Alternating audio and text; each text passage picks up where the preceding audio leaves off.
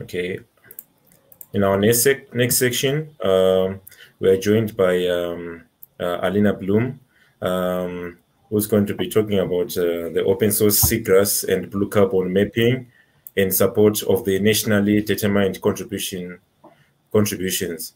Um, uh, she's who she's recently graduated in uh, applied geography from the RWTH Aachen University, and their main focus is on remote sensing and climatology. And uh, she'll be presenting um, uh, results of her master thesis, where she focused on uh, seagrass remote sensing and carbon stocks, and uh, which completed in cooperation with uh, the German Aerospace Center. Over to you, Alina. Hi, thank you for the introduction. Um, let me share my screen. Ooh. Okay, perfect. Ooh. Second.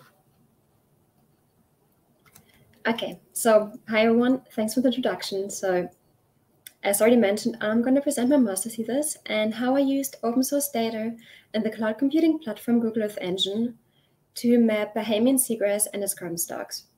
I will also talk about how this supports the nationally determined contributions of the Paris Agreement.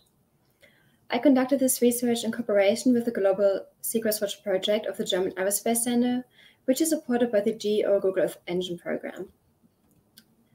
So let's start with what seagrass is. Seagrasses are marine flowering plants which grow in intertidal and subtidal waters. They can form vast meadows and, like terrestrial plants, they use photosynthesis to grow and have a pollination mechanism to reproduce. They also have rhizomes and roots to kind of anchor in the soil.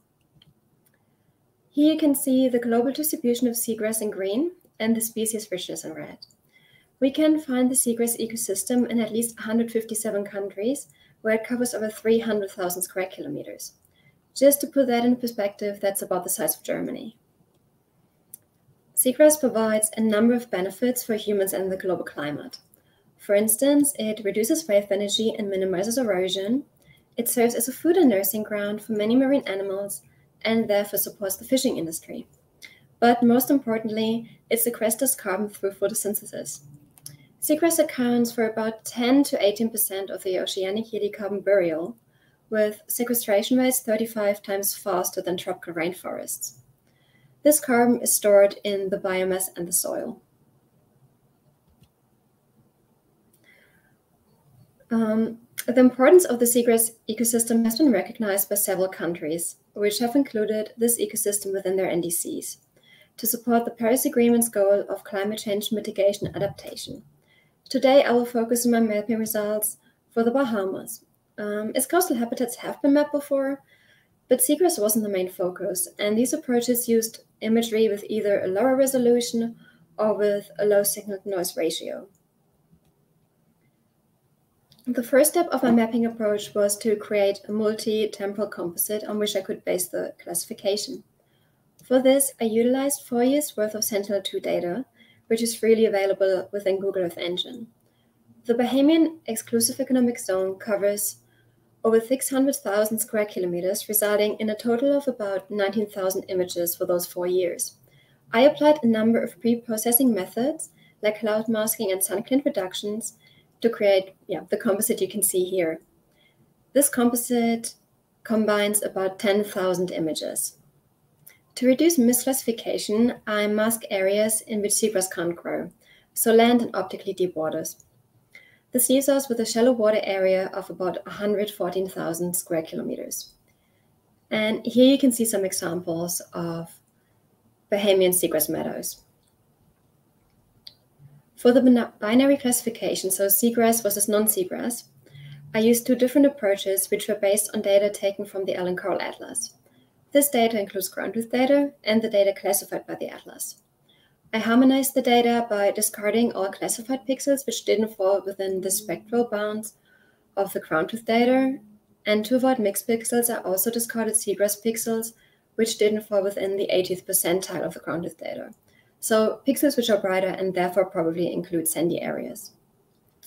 The first approach used the ground truth data and a geographical split to create training and validation data. The second approach used the ground truth data as validation data and the classified data as training data.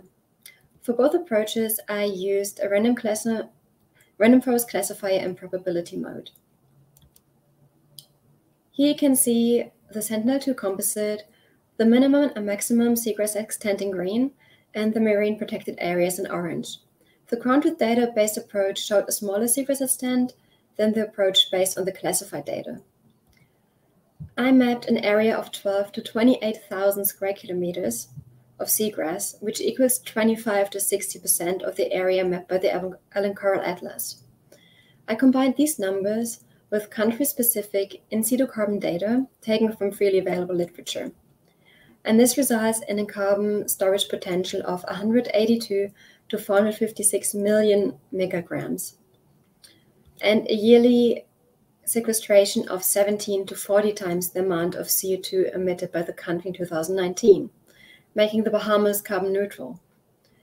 This number shows the importance of the seagrass ecosystem for the global climate, but especially for the Bahamas.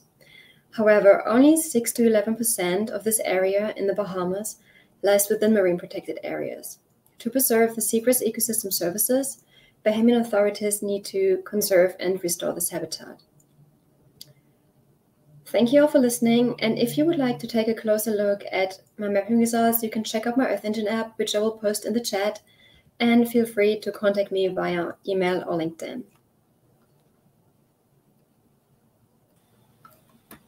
Uh, thank you, Alina, for for that presentation. Um, yeah, uh, to anyone who wants to reach out to Alina, please uh, you may uh, uh, capture those details and um, reach out to her.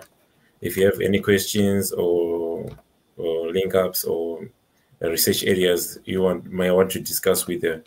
Um, I think uh, that that that uh, caps off our sessions for today. And uh, thank you, Alina, again for joining us. Um, thank you I will say goodbye for now. Bye. Yeah. So. Okay. Excellent. Yes, thank you, Alina. Very interesting. And uh, thank you, Isaacson. I think uh, that was our uh, last presenter. So I think that concludes our session right now. Um, okay.